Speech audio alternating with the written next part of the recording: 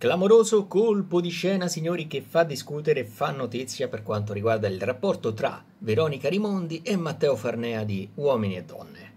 Lei è stata tronista nella scorsa stagione del dating show di Maria De Filippi e ha scelto proprio lui come persona con la quale iniziare una relazione, una relazione sentimentale.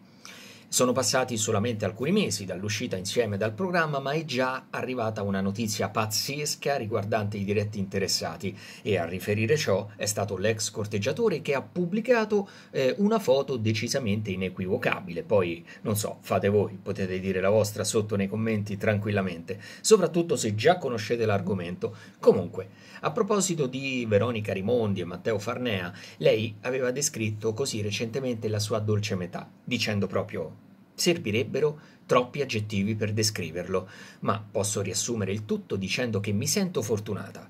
Come ho detto il giorno della scelta, non posso sapere come andrà. Non ci sono proprio certezze, ma penso, o almeno spero, di aver trovato la mia altra dolce metà. Sì, la metà famosa, quella della mela.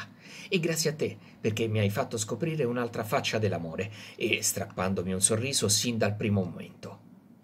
Dunque, la comunicazione più incredibile su loro due è giunto proprio da lui che attraverso una story pubblicata su Instagram è riuscito a confermare la notizia più sensazionale che ci sia. In quest'estate, caratterizzata da brutte notizie legate alle coppie VIP, come abbiamo seguito anche il caso di Totti Blasi che stiamo ancora seguendo, tra l'altro, ce ne sono tante di coppie scoppiate, diciamo. Loro però rappresentano decisamente una bella eccezione perché nonostante sia trascorso poco tempo dalla scelta nella trasmissione Mediaset, hanno già deciso di fare un passo veramente importante. In una Instagram story postata pochissimi giorni fa, esattamente il 19, Matteo ha comunicato qualcosa di grande che ha riguardato anche la sua partner Veronica Rimondi. L'ex corteggiatrice di Uomini e Donne ha pubblicato le loro mani intrecciate, ma fin qui nemmeno nulla di sorprendente, visto che sono una coppia, si sa chi è che non si prende per mano. Ma sul dito della giovane è stato notato un bell'anello e la didascalia breve, intensa scelta dal ragazzo ha fatto poi tutto il resto. Eh sì, ebbene sì, avete capito bene, i due hanno preso l'importante decisione di sposarsi, di unirsi in matrimonio. E allora?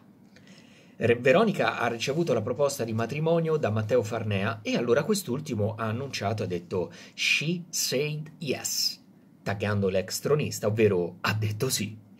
Ora non resta altro che aspettare la data ufficiale dei fiori d'arancio, giunti davvero in tempi brevi, quindi probabilmente ne riparleremo molto presto. E chissà se non bruceranno ancora di più le tappe concepiranno presto anche un bebè però forse magari è meglio non correre. Il pubblico intanto possiamo capire che è già in delirio.